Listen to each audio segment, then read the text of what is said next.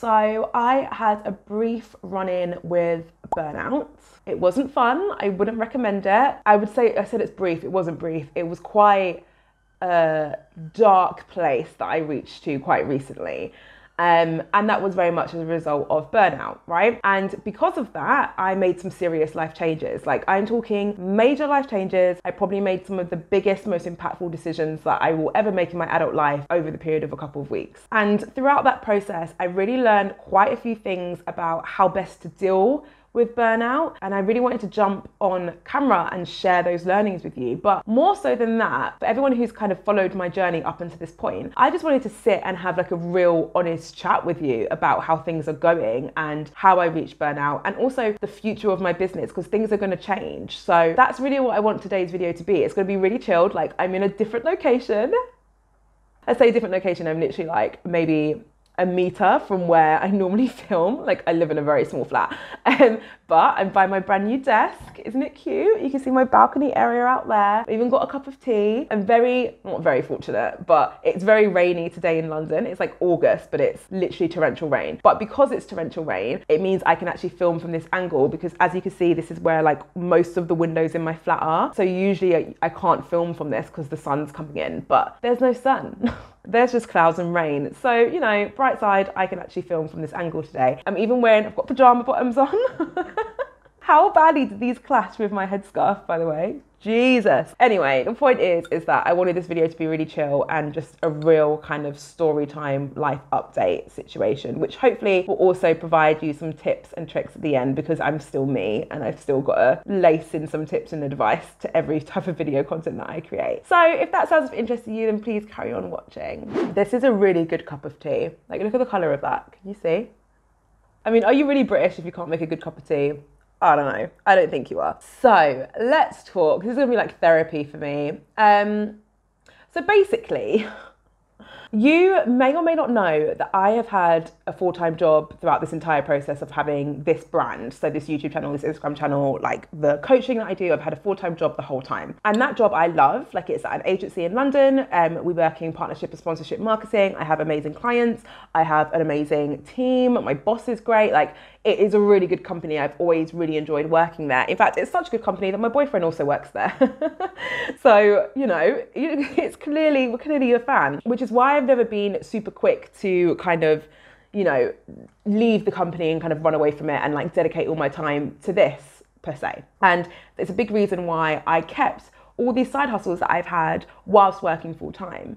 Now, in case you've not watched it, I'll link to a video up here, but there's a video that I recorded at the start of my journey on YouTube where I talk about how I started my side hustles whilst working full time. So I recommend giving that a watch because it will give you some context. But for the sake of this video, if you don't already know, I technically have three side, four side hustles. God, I have four side hustles. Two are boutiques. One is a swimwear boutique, which I started before COVID. And then COVID hit, it got very quiet, obviously, because no one could go away. And you know, you don't really swim much in England because it's August and it's raining. So you just don't swim much. So without holidays, my boutique got really quiet. So when that happened, I created a new company, which was called Raya London, and that was a bag boutique. And the whole reason behind that was that I thought, you know what, I can create I can create a boutique website really quick. I already know how to manage all my stock. I already have suppliers, but bags aren't seasonal, and bags don't rely on us being able to travel. So I just thought this is a good side hustle for me for me to do, at least while my other one was quiet.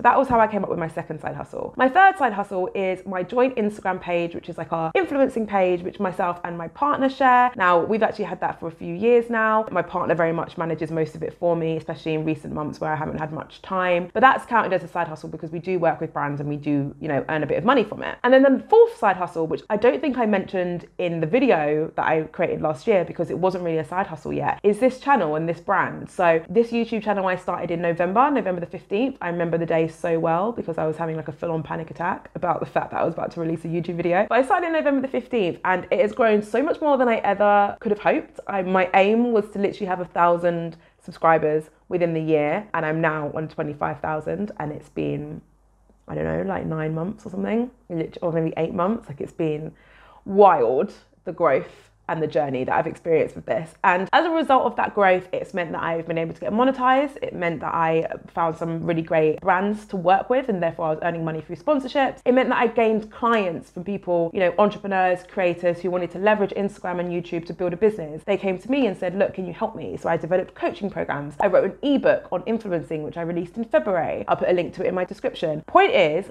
this channel opened up so many avenues to me, and I was really consistently quick to kind of jump at any opportunity I could to grow this business and this brand further, which in no way do I regret. I think it was one of the best life decisions that I've ever made to start this channel and to really run with it how I have. However, as you could probably imagine, as I'm talking about all these side hustles and all these businesses, um, it was too much. It was I, I was doing too much. Now, before I had the YouTube channel, I don't think I was doing too much. We were in lockdown.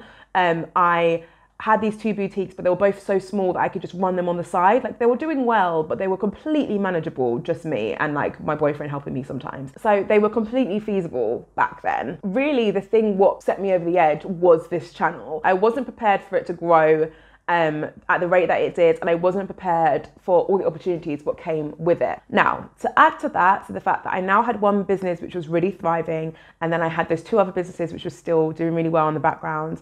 Um, I also was given a new opportunity at my full time job, which basically allowed me to work really closely with very senior people within my business. Like I was working really closely with our CEO, who's incredible. Um, it was an incredible opportunity, and I it the role I was doing required so much more thought power than my previous role did. I think I did my previous role for so many years that you know things become quite easy and monotonous. I had the same clients and it was just quite I kind of got used to it, right? And then suddenly I was doing a different role where, you know, there was a lot of stuff that I didn't know and I had to learn a lot of new things and, you know, use my brain in a different way that I was used to. So it was requiring a lot more mental capacity and energy from me. And then to throw another thing in the mix, around the same time that all of this was happening, so I got the new role, my YouTube was taking off, I felt really ill. Um, and if you follow me on Instagram, you might remember that there was a period of time where I kept on posting the same thing on my stories where I was like, I can't respond to anyone. I'm really sorry. I'll respond to you when I can, like I'm not very well. So I got unwell for, I was bedbound for over 10 days, like li- literally bedbound. You know, when people say bedbound and they mean like, I was bedbound, but like I could go to the living room and watch TV. No, no, I was bedbound. I could not go anywhere. like I was the most ill I have ever been in my entire life. Um, and you know, I won't bore you with what's happened. I'm better. I'm a lot better now. Um, I've been diagnosed. I'm on medication, and I'm, you know, I've started talking to kind of specialists, and basically, I'm just getting a lot better. But I was bedbound for ten days, and then I was ill on and off for about a month after that. Um, so you throw all of these things in the mix, and obviously, what you get is burnout. Like, was there ever going to be another like alternative ending to that story other than I was burnt out. I will say that the one issue with like making a cup of tea and then filming a video is that your tea gets cold, you know, because you can't actually spend the time that you need to enjoying the tea. So I reached burnout, and I remember saying to one of my friends, like before I realized I was burnt out, I remember saying, I, I feel like I'm gonna like burn out. And I remember him saying to me, if you feel like that, then you're probably already burnt out. And I remember thinking, that makes sense, but you know, I just kind of ignored it. And in hindsight, that was completely true. So if you feel like, if you're watching this and you're like, I feel like I'm almost burnt out, you're probably already burnt out. The fact that you're even having that thought process, right? But the way in which I can basically identify that I had reached a really deep level of burnout, burnout actually, is that I literally could not do anything anymore. And I never realized that that's what burnout felt like. I think I always thought like burnout was just me being really stressed but instead, it was literally like there was one morning. So I do all my, not all my work, I do majority of my work in the morning. So I wake up at like 5 a.m. and then 5 until 9, I work on my business. And then 9 to half 9, I get ready. And then I start my full time job at half 9 until half 5. And then sometimes I do work in the evening. But that's basically my schedule and it has been my schedule for a really long time. And I woke up one morning, 5 a.m. In fact, I woke up I snoozed until like half six, which is wild for me. And then I came into the living room to do my work, and then I just laid horizontal. I didn't pick up my laptop, I didn't pick up my phone, I was just horizontal. I don't even know if I slept again, I was just kind of laying. And then my boyfriend got up and he wakes up at like, I don't know, eight ish, and he came into the room and he walked in and was like, he just stopped dead in his tracks and he was like, are you okay? because he'd never come, like, he couldn't remember the last time he came into the living room in the morning and I wasn't working. Like, it's been over a year since that's happened. And he was so concerned. He was like, are you all right? Like, your laptop's not even been opened yet. Like, what's going on? And I was like, no, I had nothing left to give. Like, there was nothing. I had nothing in me. And it was very stressful because I had committed to all these things and I had all these businesses and I just couldn't run them anymore. And obviously, I still had a full time job to do. And luckily, I was in a position where I was able to muster up the energy to do my full time job and get that done. But there was no way in hell I was doing anything else. Like the businesses were not, they were going to have to take a step back. Luckily, because of the power of batch creating content, it didn't hurt me too much because I had videos in my folders that I could upload and therefore, you know, I was still remaining somewhat consistent across various channels. But I wasn't able to do things like go on my stories or really just give my channels as much attention or love as I wanted to give them, right? And that's why you may or may have not noticed that I have actually been quite quiet across things like my stories or even like my YouTube comments for a couple months now because I got to that stage and I basically had to do something about the burnout. And that brings me on to part two of this video, which is all about what I did as a result of reaching burnout. So, what did I do as a result of reaching burnout, right? The first thing I did was I took two weeks off work. So the first like 10 days I spent in Italy, which was incredible, fully disconnecting from just everything. And then the rest of the time I spent at home, where I made zero plans other than to just sit and contemplate life. that was my plan. I was gonna sit and I was gonna figure out what I was gonna do moving forward. I knew change needed to happen, and I just knew I needed time off to really think about what I wanted to do about it. Now, there's a few things I did during that time off which really, really helped me, and which I recommend you doing if you feel like you have achieved burnout or if at any point in your life, you know, in the future you feel like you reached burnout, right? And the first thing I did was that I fully audited like my life. So I sat down, literally sat down and wrote down every single thing that I do, every business that I do, every task that comes into it, everything from like that to my social plans, everything. I audited everything and I wrote down everything that I feel like I'm currently committed to, right? And after I did that, I used that audit to basically sit down and figure out, okay, which parts of this can I cut out? Which of these things bring me joy? For example, the social aspect, see my family, my friends, that brings me joy. I was not willing to cut that out. But which other things was I doing that didn't bring me joy or that I didn't rely on financially or just I didn't need in my life? Like, what were the things that I could have got rid of? And there's a few things that I realized that I didn't need anymore. They didn't give me purpose and they were no longer relevant. And this is where the big life changes kind of come in. And this is where the big update comes in. So, the things that I've decided to cut out of my life um, and the changes that I'm making it's quite a few, so get ready. The first is that I'm going to close down my boutiques.